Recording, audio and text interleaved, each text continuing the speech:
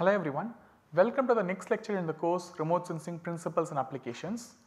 We have started discussing the concepts of passive microwave radiometry and today in this lecture also we will continue with it. In the last lecture we got introduced to what passive microwave radiometry is, uh, the fundamental Planck's law behind it, we just revisited it once more. Also we converted the Planck's law from wavelength to frequency form and also we got to know what is known as a Rayleigh-Jean approximation which will help us to calculate the radiance coming out of an object in microwave wavelengths in a more simpler way. So, Rayleigh-Jean approximation is kind of a more uh, relatively uh, very simple equation to calculate the radiance coming out if we know the temperature of an object and emissivity of an object. Today we will look into the concept of effect of atmosphere in microwave radiation. We have discussed in detail about the effect of atmosphere in optical wavelengths and thermal infrared wavelengths, in what ways atmosphere will affect it. Basically 3 ways atmosphere will interfere with the radiation going out from the earth's surface. What are them? First thing is through atmospheric transmissivity. Whatever the radiation that is emitted by the earth's surface while it is going toward the sensor a fraction of it will be absorbed and scattered. So, if, if the atmospheric transmissivity is say 0.8 and if 100 units of energy uh, radiates from the surface, so only 80 units of energy will reach the sensor remaining 20 percent will be uh, absorbed or scattered.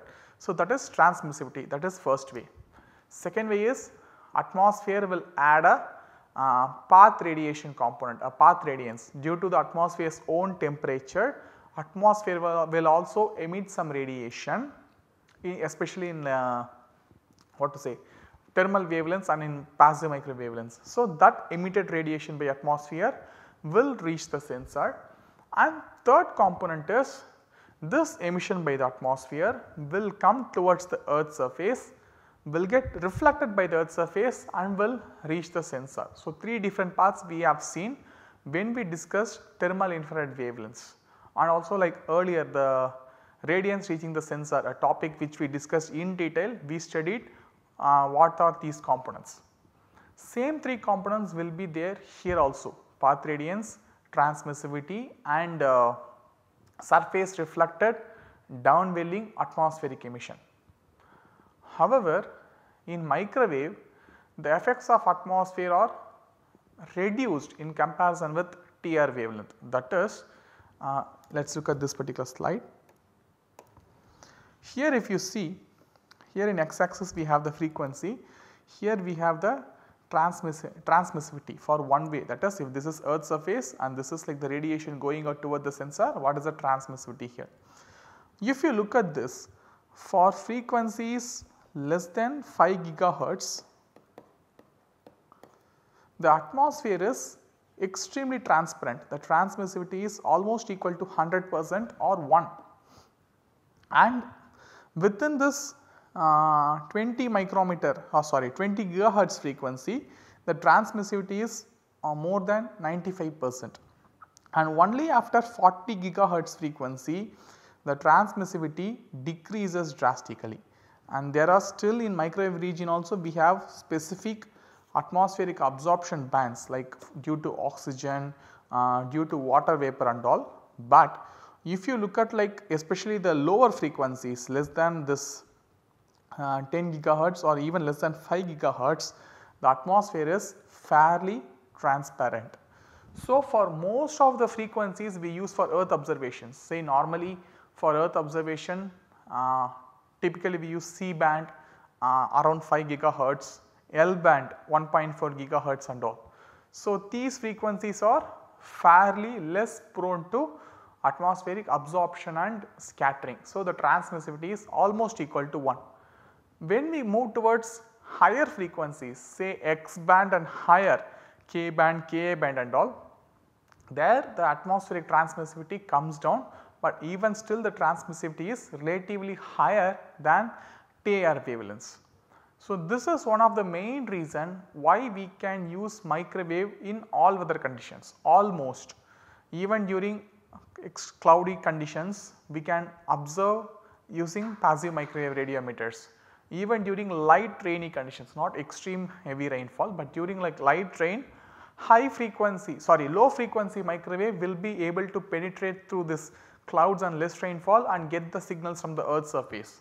So, this microwave radiometry provides us all weather capability because atmosphere is fairly transparent. The attenuation of microwave radiation in the atmosphere is very low especially at lower frequencies when we compare this with thermal infrared wavelengths.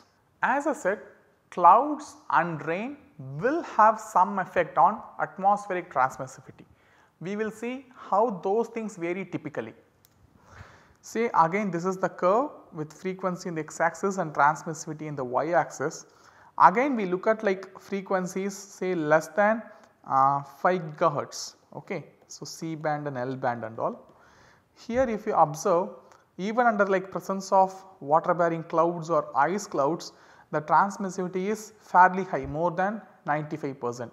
Similarly during rainfall also. So, this plot A is for like cloudy condition, plot B is for like uh, under typical rainy conditions. So, again if you look at this 5 gigahertz threshold the transmissivity is fairly high more than 95 percent. Only when we come to high frequencies around 30 gigahertz uh, or even like past 10 gigahertz the transmissivity comes down significantly especially if you move towards like higher frequencies such as K band or Ka band and all the atmospheric transmissivity drops drastically in presence of clouds and also in presence of uh, rain. But remember one thing if we have even like a thin layer of cloud we will not be able to get any signal from the earth's surface when we are doing optical remote sensing or thermal infrared remote sensing. But in microwave we see there is still some amount of transmission even though it may be low 40 percent 50 percent still some amount of transmission is there. So, the data will be cloud contaminated but still some information will be provided. So, the penetration capacity of microwave is fairly high when we compare with other uh, wavelengths we have discussed till now optical and thermal infrared wavelengths. So, microwave can be used for observing the earth's surface even during cloudy conditions or light rain conditions. So, this is one of the primary advantages of microwave remote sensing uh, in both active and passive modes. So, there are like uh, specific bands which are often used for uh, various applications or specific applications we will just get introduced or just see which bands are being used for which applications typically. Say the frequencies near 1.4 gigahertz or 2.7 gigahertz normally used for measuring soil moisture, ocean salinity, uh, sea temperature like sea surface temperature and all. And uh, similarly the frequencies around the 6 gigahertz is for measuring ocean surface temperature.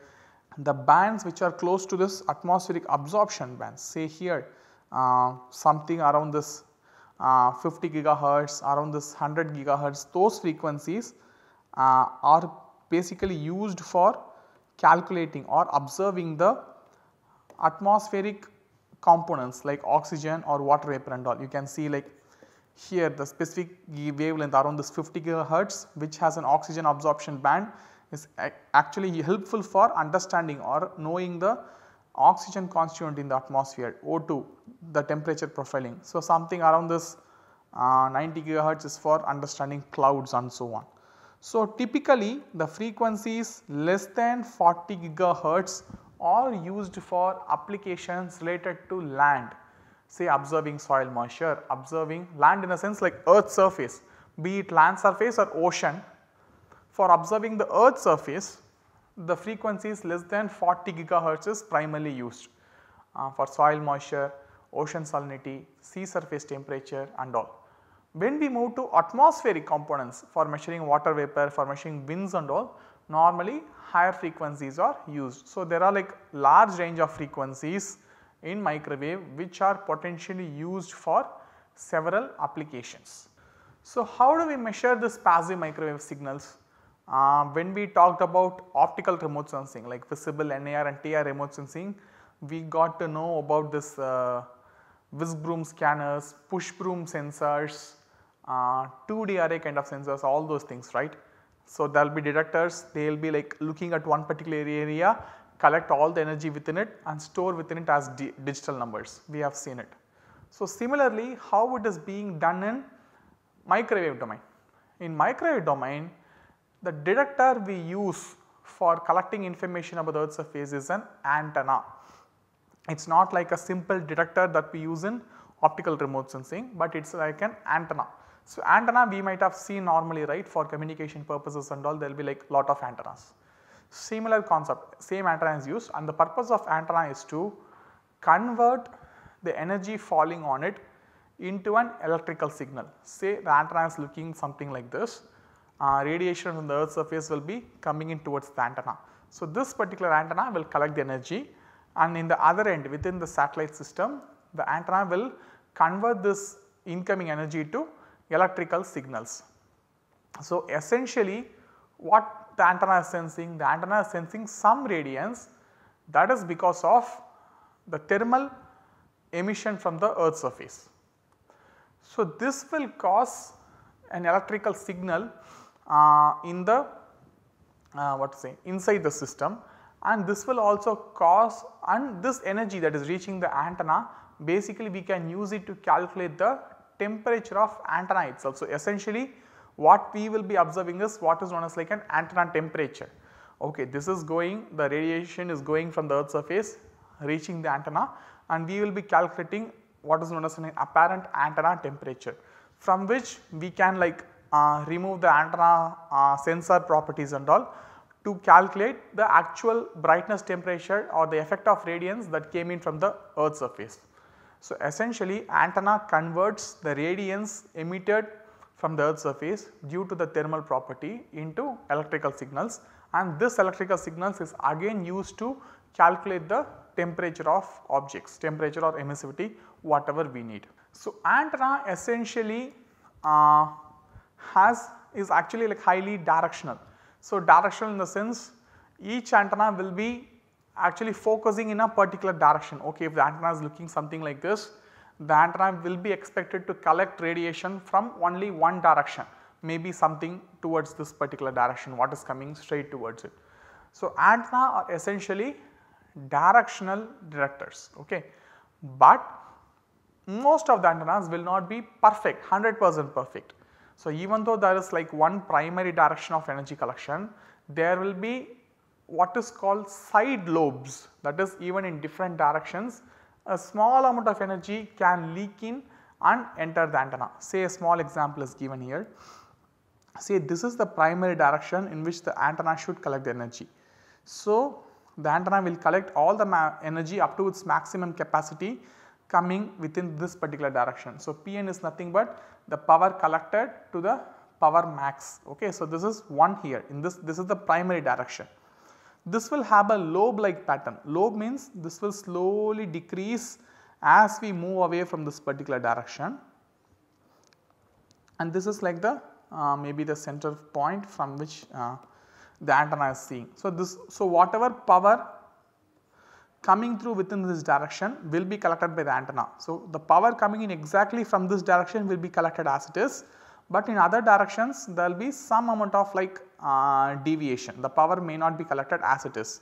Each antenna may have its own lobe pattern some antenna may be extremely directional some antenna may not be as directional as uh, as we need and so on ok. So, it, it depends on uh, the directionality of the antenna if the if the antenna is highly directional then it may collect all the power coming in from only one particular direction avoiding all other directions. These are the side lobes. So, that is even some energy coming in through these directions may enter the antenna in other directions apart from this specified one. Okay. So, the essentially each antenna collects uh, energy in form of like lobe basically we call it like lobe and the main direction in which the antenna is supposed to collect energy we call it as main lobe and the other directions from which energy can leak through in or the radiation can leak through in we call it as the side lobe. So, depending on the antenna pattern uh, in which direction the antenna collects radiation based on the antenna pattern the energy that is being collected will vary. say if antenna is highly directional, let us say like a hypothetical antenna which is collecting exactly in one direction and no other direction it is collecting energy means. So, it will be like collecting energy only from one straight line kind of thing. Other directions it will be completely removed. But let us say the antenna has a, like a lobe like pattern. So, one primary direction of energy collection will be there, but energy from some other features on the side also will be coming in and joining in. So, this antenna pattern will play a role in sensing the radiance collected by the sensor. So, just think it in analogy with the spectral response function of uh, optical sensors.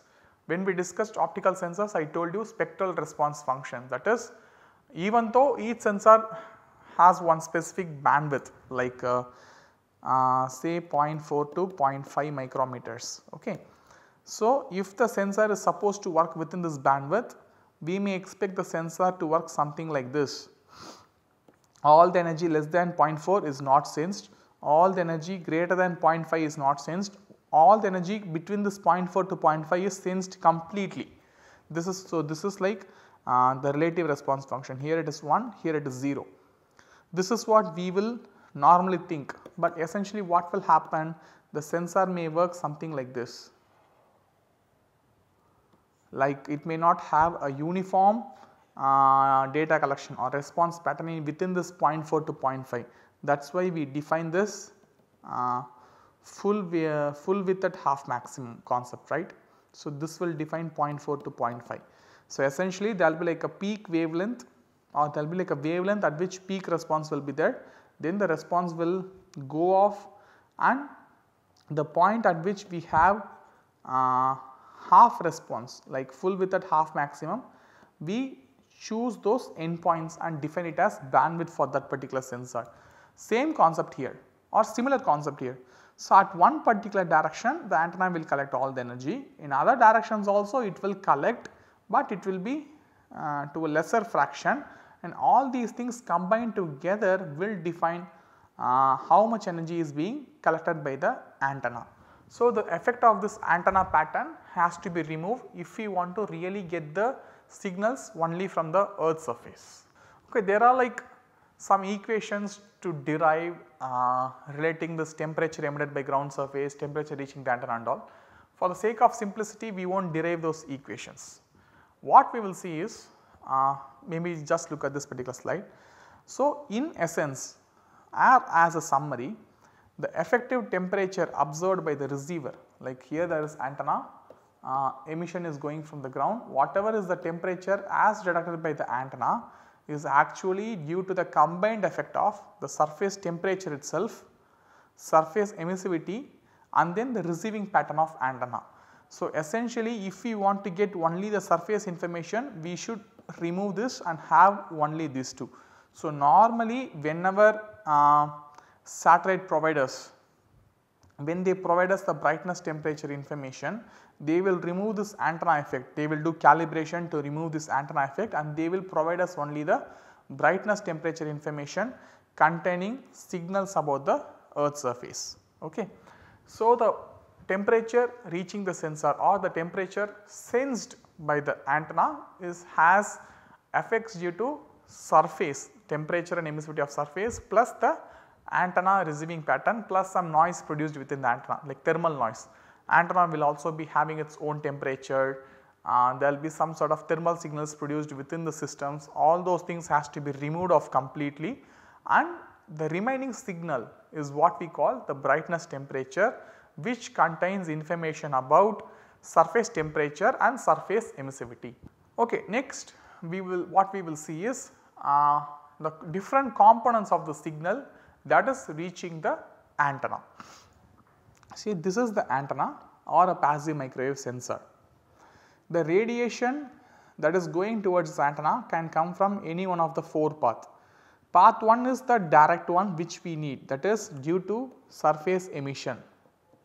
So, the surface is at a given temperature T with a given emissivity uh, epsilon due to those effects the surface will emit some radiation it will reach the sensor direct emitted from by the object. So, this is of our primary interest. The second component here is the path radiance. So, the path radiance is essentially the emission from the atmosphere that is directly reaching the sensor without coming towards the earth surface. We do not actually need this, this is kind of like unwanted thing. Third thing is the emission from the atmosphere that is travelling towards the ground and getting reflected by the ground surface.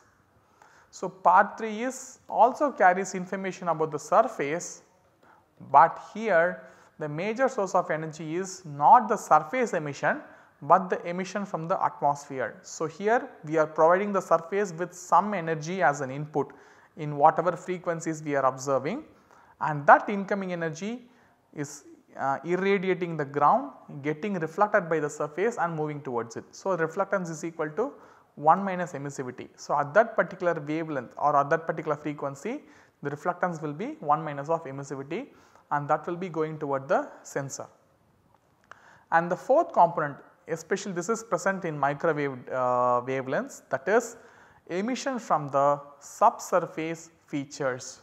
So, this is one of like the major difference between uh, TIR remote sensing and microwave remote sensing. In microwave remote sensing the emission emitted by features slightly below the surface also will reach the sensor because of the penetration capacity of microwave. Microwave can penetrate through various objects to a large extent when compared with visible or NIR or TIR wavelengths and hence the signals reaching the sensor will also have some information about what is being emitted by the subsurface. The depth may vary sometimes it may be just 1 centimeter depth, sometimes it may be 5 centimeters depth under extreme dry conditions it may be like a few tens of centimeters and so on. But some information about the subsurface may be there in passive microwave signals. So, if we look all these things then essentially paths uh, 1 and 4 contain the signal that is purely because of emission by the earth surface. The 3 will contain signals both from atmosphere and also from uh, the reflectance of the object that is the emissivity of an object and path 2 is the atmospheric path radiation components which normally we do not want. So, in total the temperature sensed at the antenna has to be corrected for first thing the antenna pattern which we have already seen and the atmospheric effects in order to get surface brightness temperature. Atmospheric effect means this path radiance term and this atmospheric emission terms. If we correct for these two and sometimes transmissivity especially at higher frequencies. So, if we, we have to correct all these effects in order to uh, calculate the surface brightness temperatures. Also in addition to atmospheric effect there can be a galaxy component. Galaxy component means say the sensor is there in outer space, outer space also will be continuously emitting radiation because that is also not at absolute 0 temperature. Some temperature is there even though it will be extremely cold it is still not at absolute 0 due to which it will emit radiation.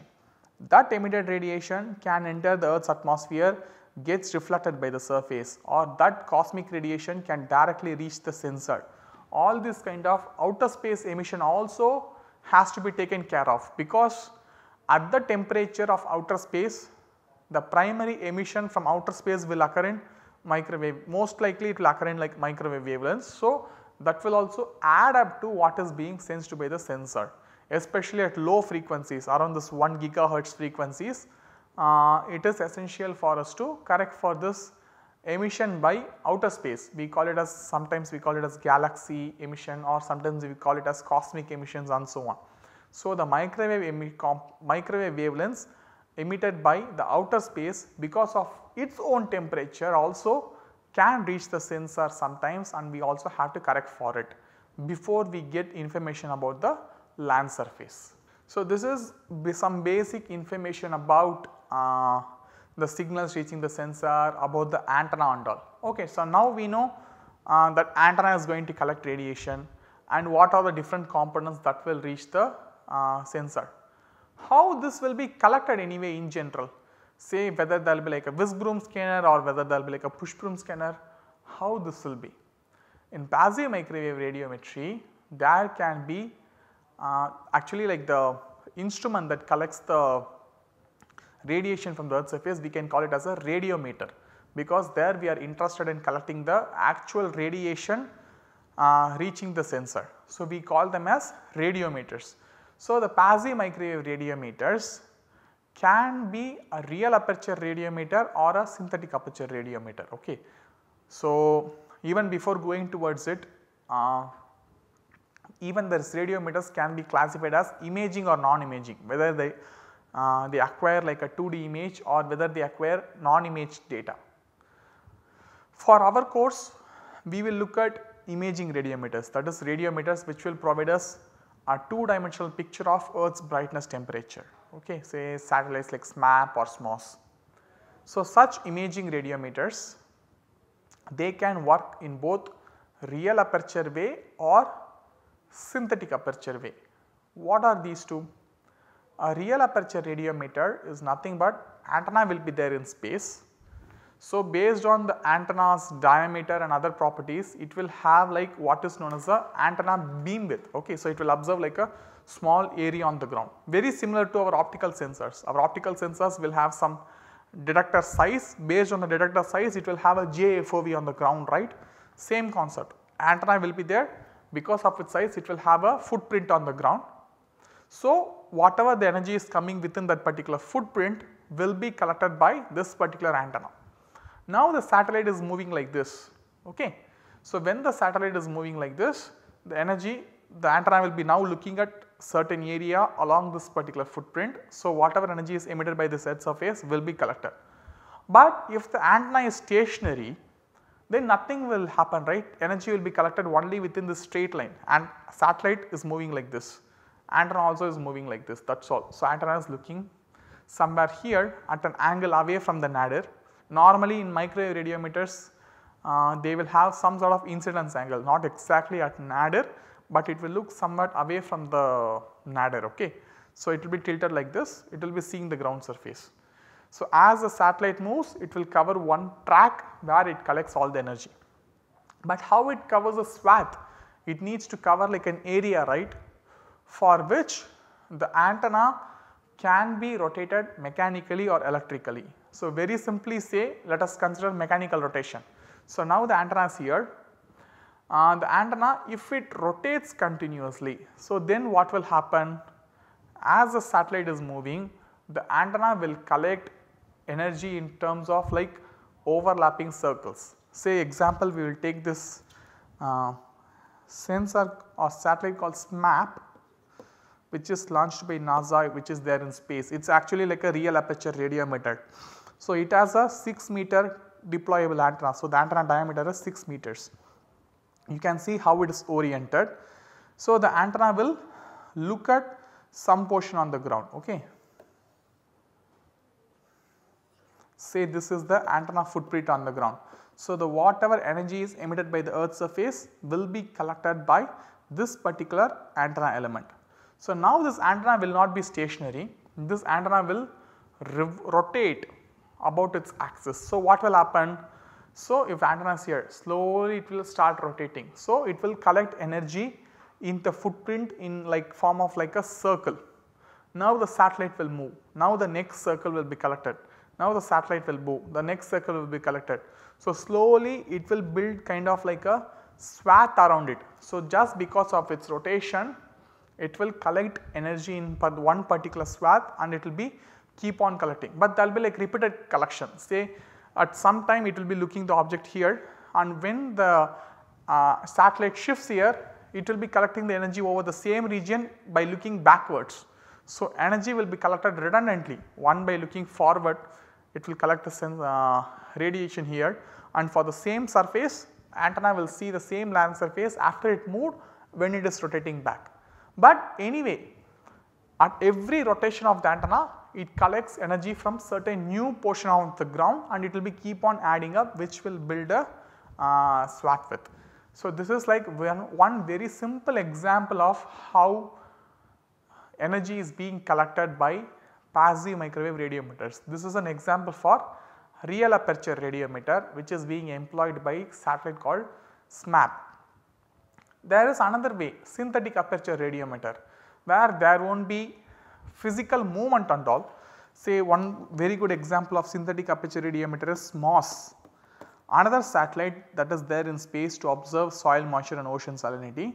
So, here the satellite will look something like this three arms uh, having lot of tiny tiny antenna elements arranged in terms of like arms of Y. Okay. So, this is like a Y uh, English alphabet Y there will be lot of antenna elements.